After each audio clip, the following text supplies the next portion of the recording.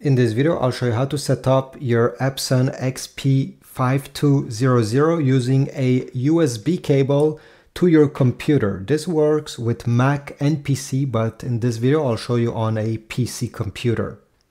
This cable is not included in the box. You'll have to purchase one separately and I'll put a link towards Amazon. So if you want to get one from there, you also support my channel.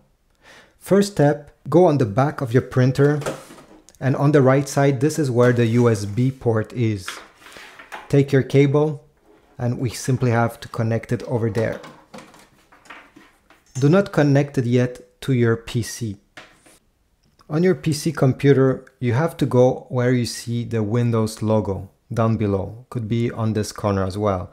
On a Mac, you need to click on the Apple logo and then select System Settings go on the left side down on that list where you see printers and scanners. And then on the right side down below the page should be add printer. On a PC, let me show you, I'll click on this and then select settings, select Bluetooth and devices, and then select on the right side printers and scanners. Now your printer should appear over here once you have connected. So take the USB cable and I will connect it on the side of my PC. Here we go. Now take a look at this page. Usually you don't have to install any driver or anything, just wait at this point. After a few minutes, two, three minutes, your printer should appear in this list. Here we go. After about a minute and a half, I got it. I got it here. Now, if you click add drivers, this window will open and yeah, it will just guide you how to install a driver. It's not very useful. So the easiest way, honestly, is to simply go on Google and over here, simply type Epson XP 5200 driver. One of the first options should be from the official Epson website. Epson Canada, since this is where I am located, or Epson USA over here. Once you're on their website, to download the driver, you simply have to go down, select your operating system,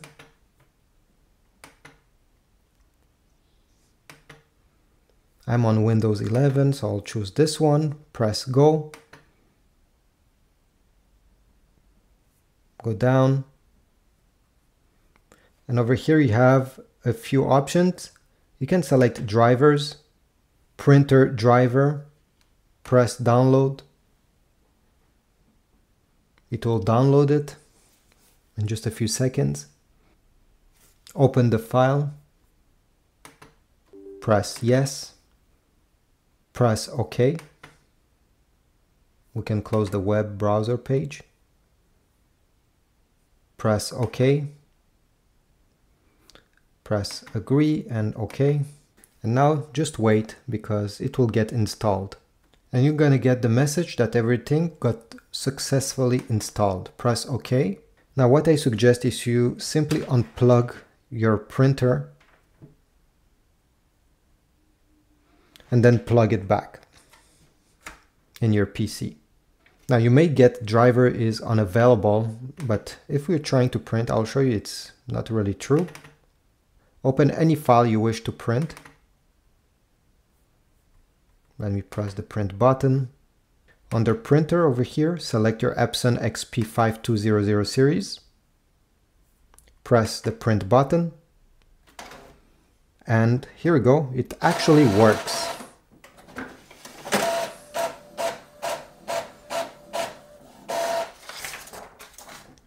Et voila.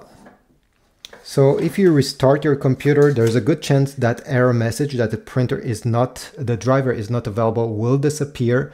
If it doesn't disappear, don't worry, the printer is working as it should, even if you get that error message. So this is about it. If you want to scan, by the way, um, get the results on your PC, you simply have to put your document on the scanner and on your PC, simply under search, type scan It will open the scan app that should be installed on your PC. It comes included with it. If you don't have it, go on the Microsoft Store and type scan. It's made by Microsoft. Just download it. Select the scanner of your printer. So over here, XP5200 series. Then select auto configure what type of file you would like to uh, get from the scan. I'll select JPEG. Click show more and you can select where do you want the scan to be saved on your PC. At the end, press scan and wait.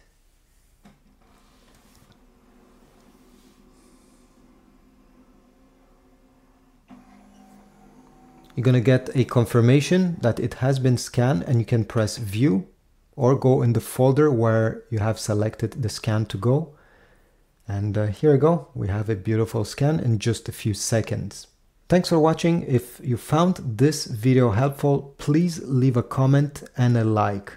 Check my Amazon links if you want to get some ink cartridges for this specific XP5200 or some paper. I'll put those links down below.